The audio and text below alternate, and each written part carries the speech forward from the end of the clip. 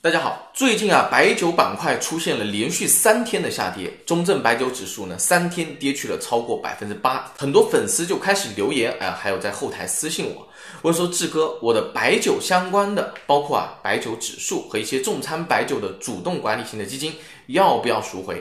今天呢，我就做一期视频来统一做下回复。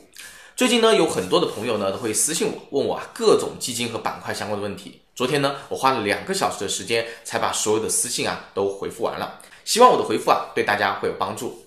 其实有长期关注我的朋友啊，应该知道之前我对白酒板块是讲的最多的。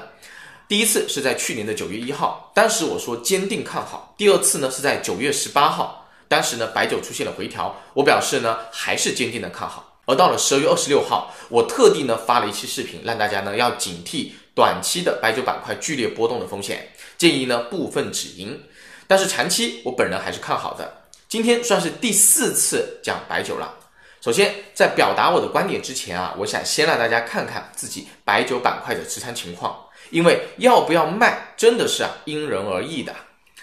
如果我们是全仓或者重仓白酒指数基金的话呢？比如大家熟悉的招商中证白酒，我还是延续之前的观点，在短期不确定性增强的情况之下，可以适当的落袋为安，降低一些仓位。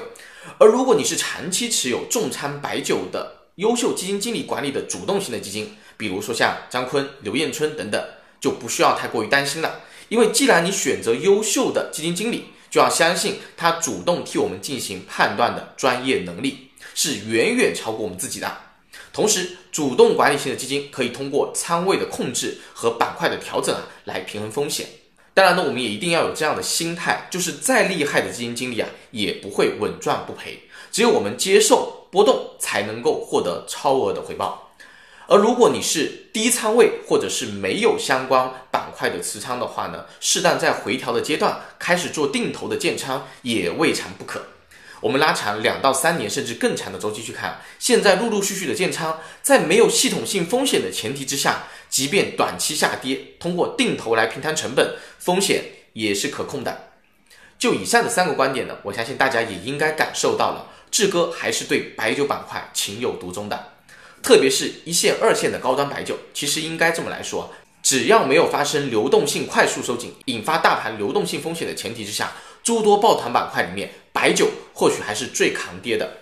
因为不管如何，白酒还是盈利增速确定性比较强的板块，每年平均百分之二十左右的增速，行业毛利润率呢在百分之七十到九十，净利润率在百分之二十到五十，这样的行业放眼全球都会是最优质的资产。而对于龙头白酒企业来说，品牌带来的提价空间还是非常大的，这都会持续给利润带来非常大的想象空间。这样的消费类的核心资产，一直以来都会是资本啊追逐的对象，是能够陪伴我们呢穿越周期的。很多人会说板块估值非常高了，的确是这样。但是如果你分开来看，里面的企业是各不相同的，有估值在四十到六十倍左右的，比如茅台、泸州老窖、洋河、水井坊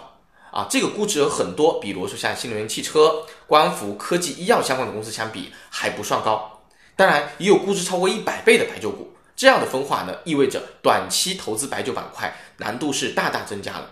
在这样的情况之下，和指数型基金相比，我更愿意呢选择偏好白酒的主动管理型的基金经理来参与白酒板块的投资，因为可以调仓换股更加灵活，也会更加安心一些。